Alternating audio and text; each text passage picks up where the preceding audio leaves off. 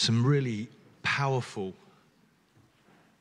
words there. Words with a cutting. Are you feeling the cutting edge on some of the words we've already had this morning? That wasn't a rhetorical question. Good. Please encourage me that we're all in the same place. There's a real cutting edge on some of these words this morning. I'm so doing things slightly differently today. I'm going to preach sooner. And then I want us to go back and have a longer time of worship and ministry to follow this. So I'm, to, I'm not going to preach very long.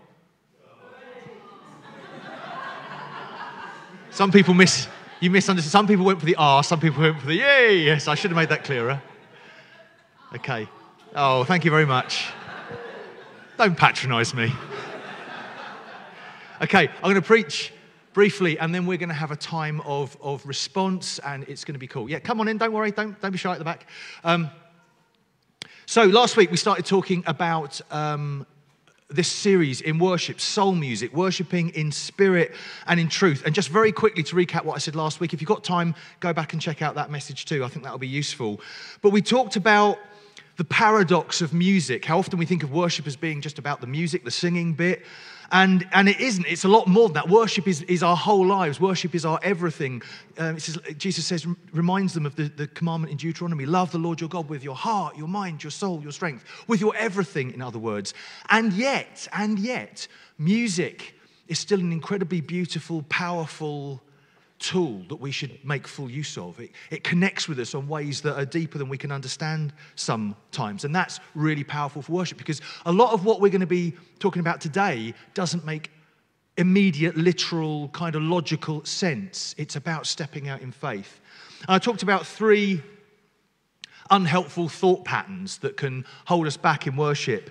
Remember, it was that head stuff is, is overall, you know, we've got to have lots of ideas. Ideas are more important than feelings. Maybe you were taught that, that, you know, it's ideas that are important. You know, feelings, emotions, physicality, that's not important. You can stand there stock still, feeling nothing, but getting lots of concepts being downloaded through the songs that you're singing. And, and it's like there's nothing wrong with ideas, there's nothing wrong with words. But worship is so much more. Why shouldn't worship? Why would worship not involve our totality, our feelings, our hearts, our minds, yes, but our bodies too? Why wouldn't it? Worship can and should involve our whole selves, our sights, our senses, smells, taste, touch. You know, there's so many ways that we can experience worship. We also talked briefly about feeling limited or feeling excluded by how musical you are, whether you've got a beautiful singing voice or a sense of rhythm, or whether you've got your tone deaf and, you know, you can't quite keep it. It doesn't matter. It doesn't matter. That is not the be all and end all of worship. You are a handmade creation. You are handmade by God. God does not make mistakes.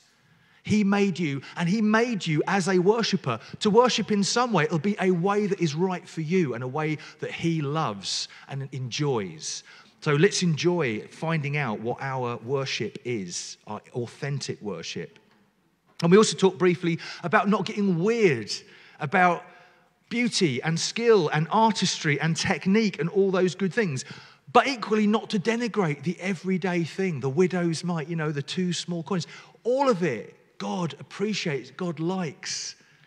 You know, we were, Dave Steele was, was uh, sharing at Nick's induction yesterday, and there's a, a, little expression he was sharing from a Brennan Manning story, which will stick with me. This chap saying, oh, how, What is this extra you've got?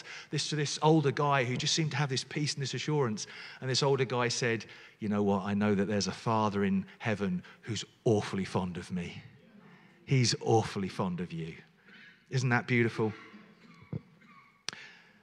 So we can have a healthy engagement with excellence. It isn't about elitism. We can have a healthy engagement with excellence because why wouldn't we bring our best? Of course, we bring our best, but our best will look different and it will mean different things at different times for different people. It's all about worshiping in spirit and in truth. It's all about going and getting in touch with the deepest core of our being, our deepest realities, perhaps deeper than we can even perceive sometimes. There's something going on in worship that is deeper than we can perceive. We might think, well, what we're singing songs, and you know, something deep can be going on, and almost certainly deeper than we can understand with that kind of literal cerebral part of our brains. And that's really important for what follows now, for what I want to share with you this morning, because today, this is a message called Battle Cries. This is about how worship brings transformation. Last week was deep cries, this is battle cries. Worship brings deep transformation, it brings real change in real situations. But we won't necessarily always be able to explain that or make sense with that. There won't necessarily be a clear cause and effect, like, you know, oh, well, I put my umbrella up and I stopped feeling the rain hitting me. It won't be that clear cause and effect all the time. Sometimes it might be. Sometimes we're doing something in worship.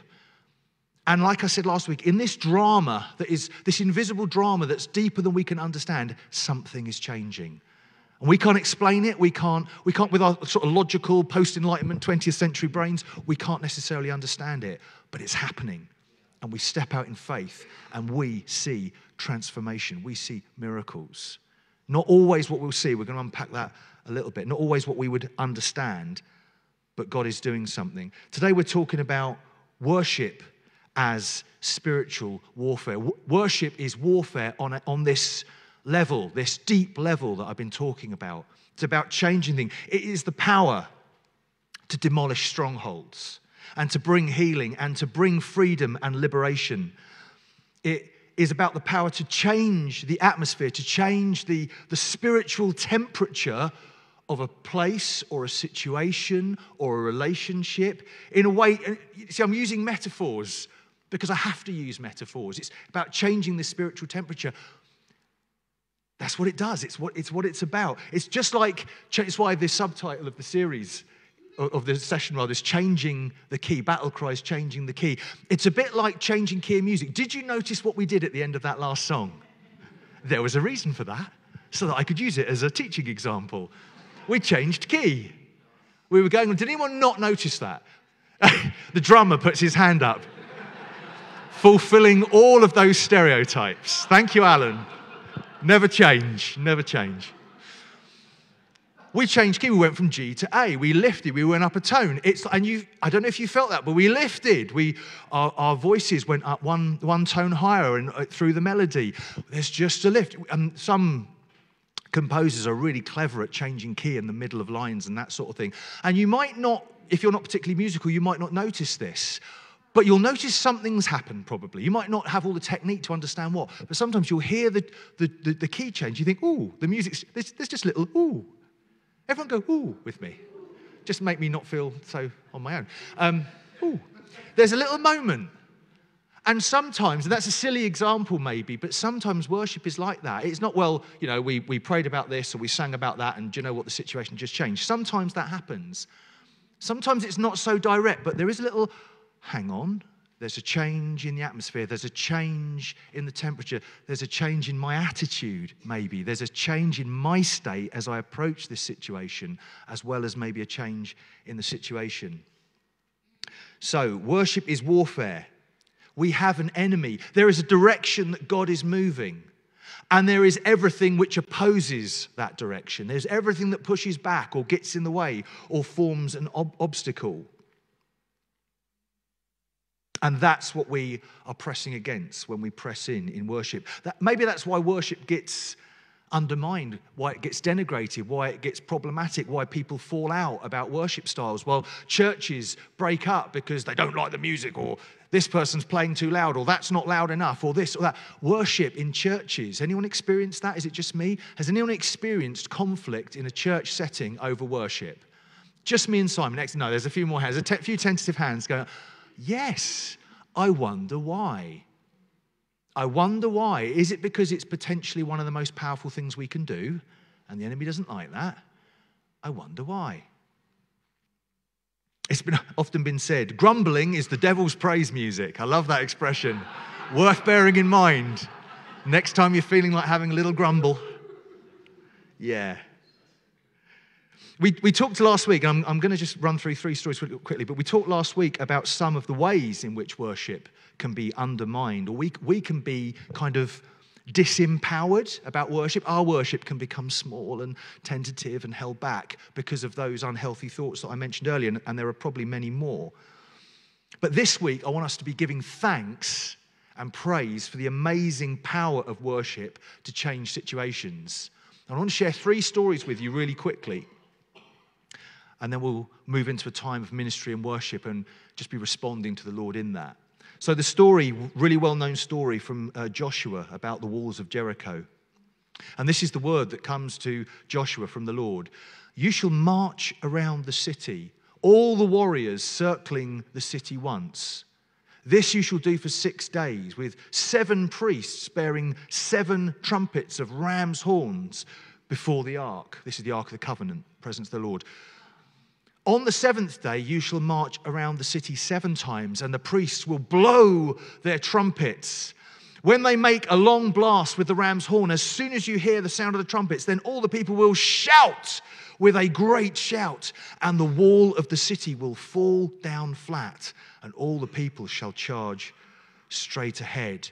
They've moved into the promised land, if you don't know the story. They've moved into the promised land, and there are enemy peoples occupying this land that God's given them. And you can't just ignore it. You can't just keep going. There's a, there's a problem here. It's going to be in the background, you know, forever if you don't deal with it.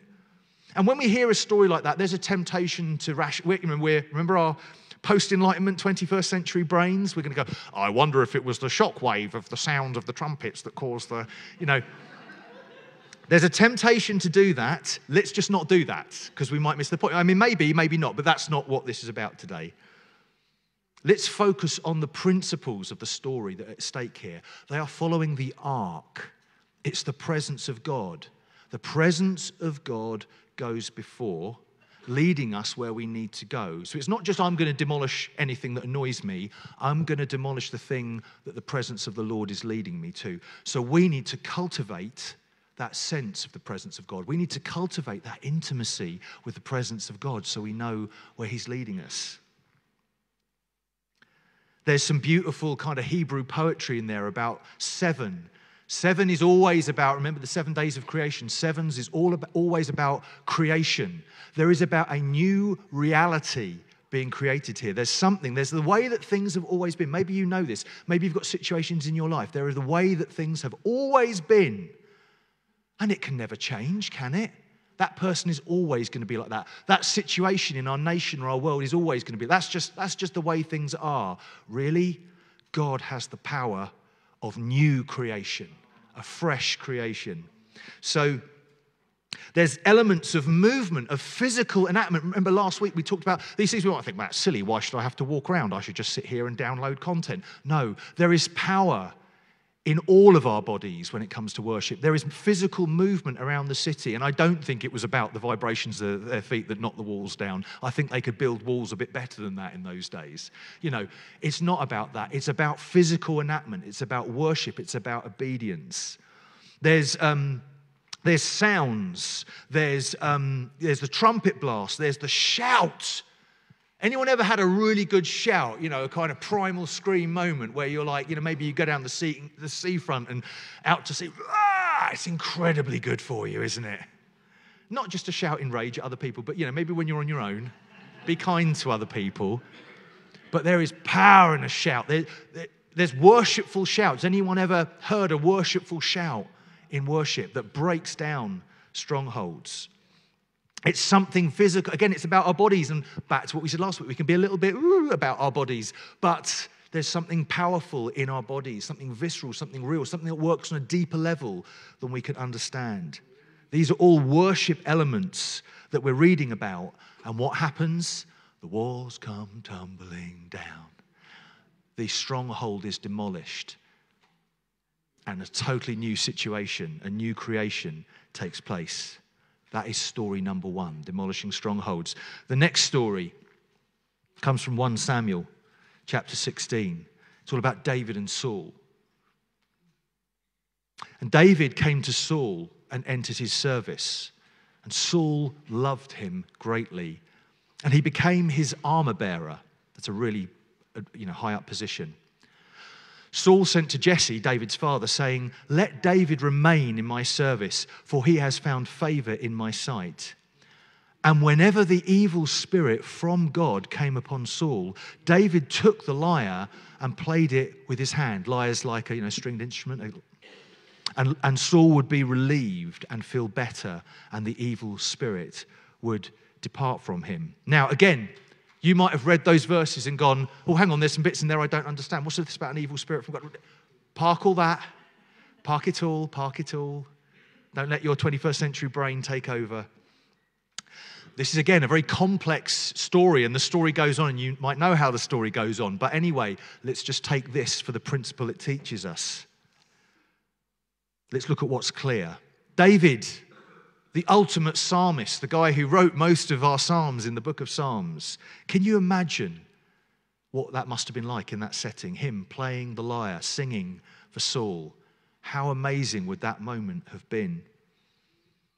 And we see as a result of that, profound transformation. Saul, this, this very tortured individual, very complex individual, you know, there's a whole story here, but Saul is ministered to. And even in the midst of all that complexity, all that torture that Saul had, all the problems of, of, of Saul as a character and, and his history and everything, but in the midst of it, we see respite and we see healing.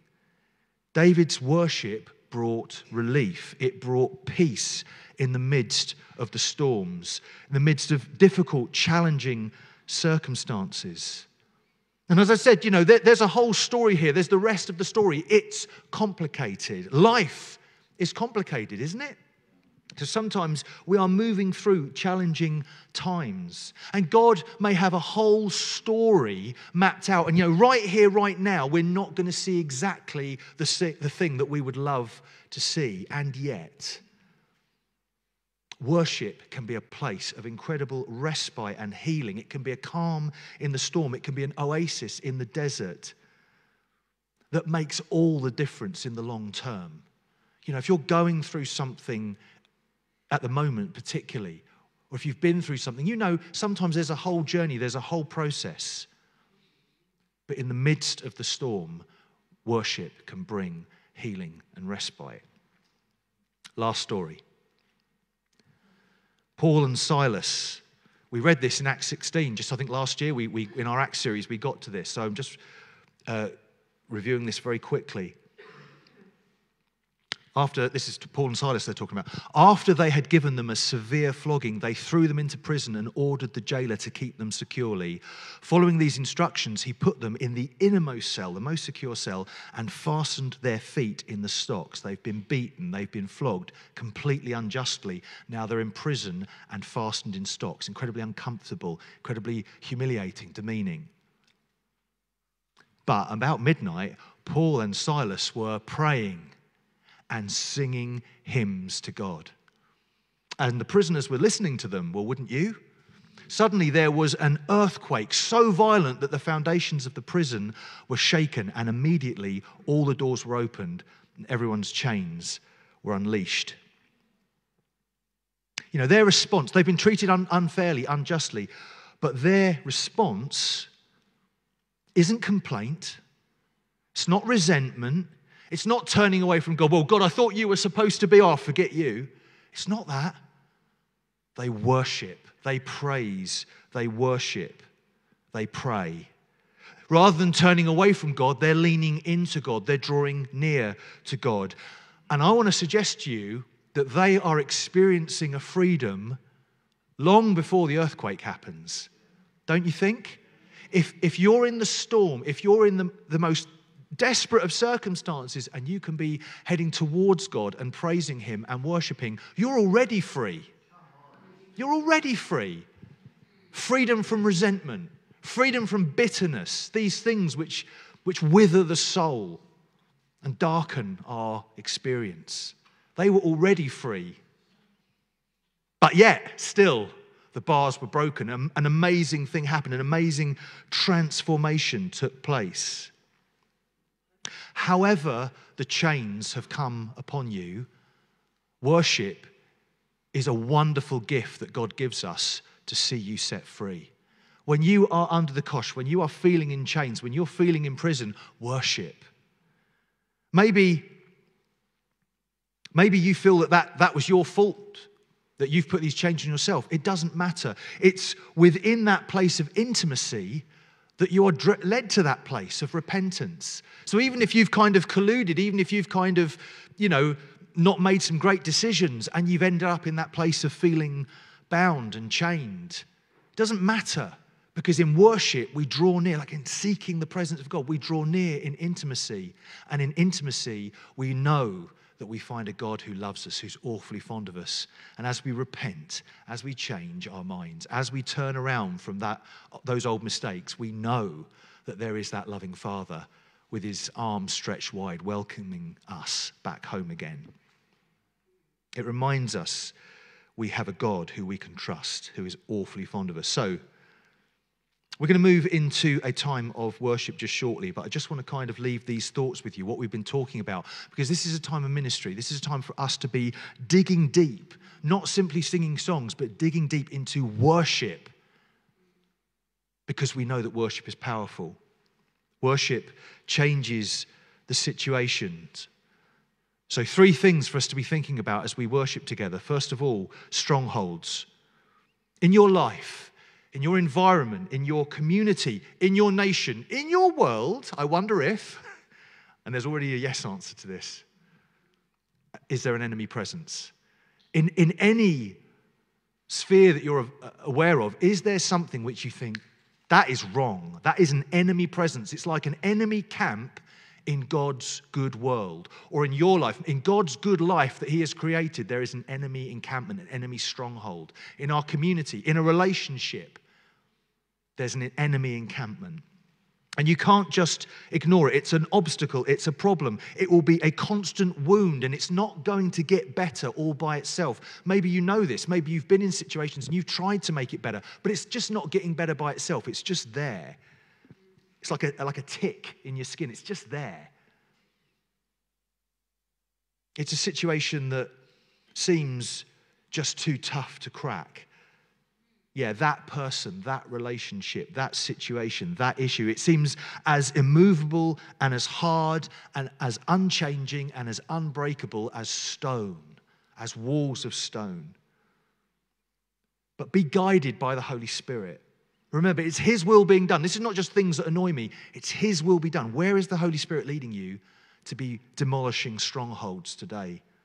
Not just today, every day when we come to Him in worship. And as we worship, think like Israel. Think of yourself as surrounding that issue. Let your prayers surround that issue. Let your, your inner heart song surround that issue. And we will see the walls come tumbling down. Amen? Amen. Next thing to be thinking about is healing and respite. Come in this time of worship and receive healing, receive respite. You don't have to physically come. Maybe we will, maybe won't. I'm going to hand over to Jo in a minute and she's going to kind of MC and curate us as we worship together. But receive healing, whatever that looks like for you. Now, it might be exactly what you would hope for. It might be that the healing might be obvious, but it might be less obvious. There might be, remember with Saul's story, there might be a whole story here that needs to be worked out. And this is just a moment in that story. But even in this moment, God is so good and He's so loving, and He wants to bring you healing and respite in this moment. Let worship be a place to be restored, to be restored, to be reassured. Let it, let it be comfort in the valley of shadow, strength to walk the path ahead with faith and trust and peace. And lastly, I want you to be thinking about freedom as we worship. Do you feel like you're held captive by something? Or it might be someone else that you know and you think, I, I know that that person is in chains over a particular issue. You know, the, the church outside of, of Paul and Silas's prison, I'm sure, were praying for them as well. Do you feel like you're in prison? Do you feel like you or someone you know is in chains? Maybe it's unfair. Maybe it's unjust, completely unjust, not your fault. Or maybe you did kind of collaborate with this in some way. Maybe you did kind of walk into it. You made mistakes. There is temptation. There is always temptation. You know, But we, sometimes that's self medication. Sometimes we, you know, because of the pains of life, we self medicate. We self medicate in all sorts of ways. You know, maybe it's, maybe it's a substance, maybe it's an activity, maybe it's, and it's something we do just to make ourselves feel better against the pain. But God wants to set you free from the pain.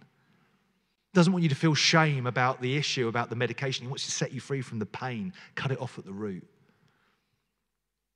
Or maybe it's someone else, like I say, that you're aware of. In worship, we have the chance to reset, to yield to the Holy Spirit. Maybe we need to repent of something, and God brings freedom. He brings that change to the spiritual atmosphere, that change of key, and then we move forward however He leads us.